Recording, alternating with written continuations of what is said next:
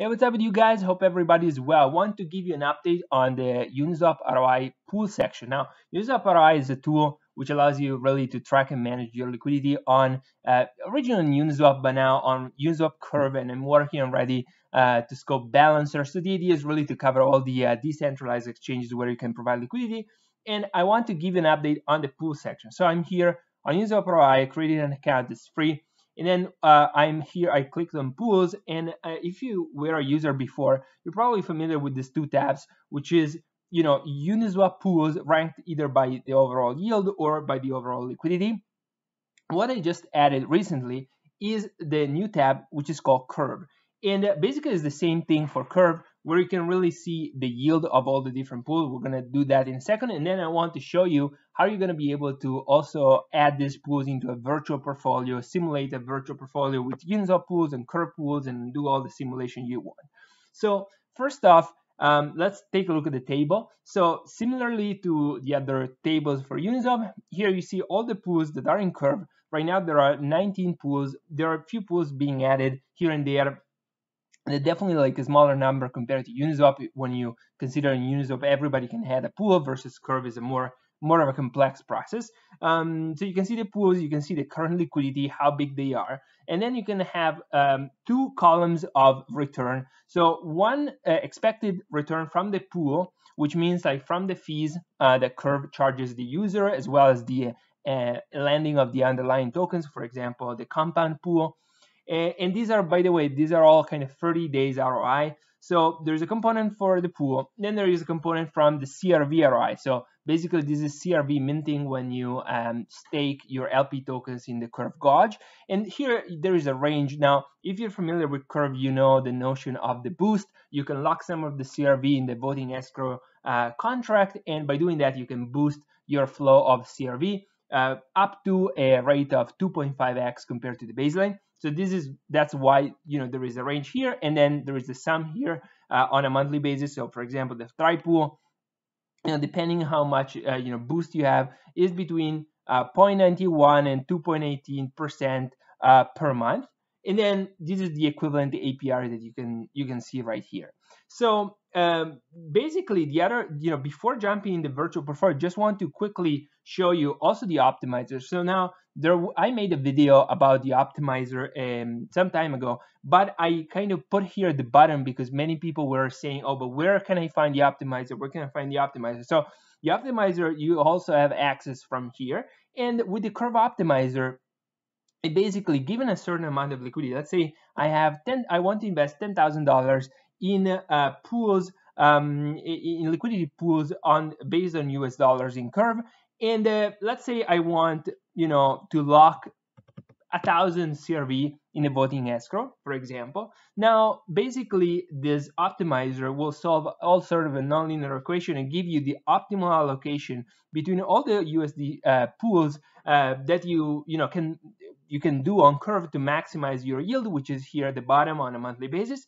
And uh, so, for example, just to give a real example, let's say we want to invest $10,000 in uh, curve stablecoins, uh, USD pools, and so and also lock a thousand CRV. So the tool is saying that we should uh, primarily uh, put them in the Y pool and the USDN pool. And if we want to do the same for BTC pool, um, you know, it's saying that the prim primarily it's suggesting us to lock in the HBTC pool. So what we can do is basically uh, now build a virtual portfolio um, that uh, you know can reflect this and also add some Uniswap pools. So what we're gonna do, and what I can do, is to come here and say, okay, so we said the Y pool and then the neutrino pool USDN. So I'm clicking on the plus button. Now, when I click on the plus button here at the top, my virtual portfolio starts to populate. And then let's imagine we also want uh, a BTC pool. So we said the HBTC pool was the best. So I'm going to click here. And then uh, let's also assume that we want to mix some of the Uniswap pools. So for example, I come on the Uniswap. And by the way, just a side note, you saw that you know once the uh, the uni uh, reward in Uniswap uh, kind of uh, basically terminated was terminated, the yield of some of this pool kind of really exploded. So we're talking now Ethereum USDT, Ethereum USDC, Ethereum DAI, you know, pretty much 50%, 40, 50% per year, which is pretty pretty good. Um, so let's say I want also to have you know an Ethereum USDC and maybe an Ethereum uh, Uni pool. So I click on the plus button. I am kind of building my portfolio here. So what I'm gonna do? So uh, let's now fill in the gaps. So uh, since I have three uh, curve pool and two Uniswap pools, I can also uh, specify how many VCRV I plan to put. So we said at the beginning we were putting a thousand, you know, planning to lock a thousand VCRV. And then, uh, uh, so I let's start with curve. So we said uh, we wanted uh, 10,000 on the USD based uh, stablecoins pools. So for example, I'm gonna put um, for example, 6,000 here, and we said uh, 4,000 on the neutrino pool. Then the HBTC is another, we put another 10,000. And let's say, for example, that I'm, we're going to put another 15K on the Ethereum USDC, and then another, I don't know, 10K on the uh, Ethereum Uni. Now, what basically the tool is, uh, is telling us is essentially how much is, is predicting how much this portfolio would generate. So it's $45,000 uh, in liquidity, this portfolio. It will probably yield uh, on a daily basis 40 bucks, 283 bucks on a monthly basis, uh, which an APR which is combined at 32%.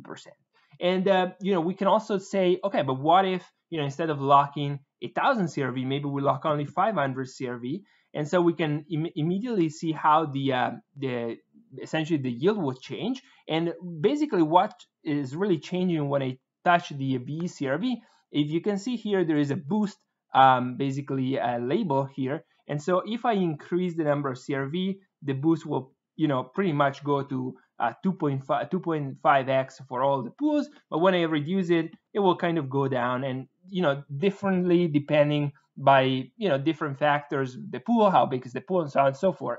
And so with this, you can really simulate um, simulate a virtual portfolio, build your virtual portfolio before you invest, and really do the, all the trade-offs. So basically, just to sum up, what we saw is that from now in the pool section, you can see all the yield of all the curve pools. You can also access the optimizer. The optimizer is really specific for curve and really gives you the feel in terms of the allocation, right? Like between the different pools. And then once you have a feel how you want to allocate within curve, you can build your virtual portfolio and you can also mix and blend with the you know Uniswap liquidity and immediately see and calculate your yield on a daily, weekly basis, and annual basis, and, and really understand all the trade-offs. So I hope this is helpful and this was insightful for you guys. As usual, you know you find in the tool my personal contacts. Uh, you can follow me on Twitter at Federico Nitidi. You can uh, contact me directly on Telegram. And also, if you like content around DeFi and specifically decentralized exchanges and liquidity providing, um, make sure sure you uh, subscribe to the channel. And uh, yeah, if you have any question, thoughts, uh, let me know. And until next time, have a great day, guys, and talk soon. Enjoy your weekend.